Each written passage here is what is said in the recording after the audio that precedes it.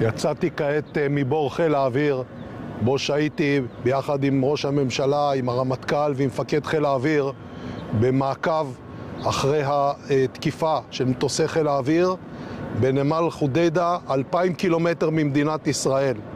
את האש שבוערת עכשיו בחודיידה רואים בכל רחבי המזרח התיכון, ולעניין הזה יש משמעויות ברורות.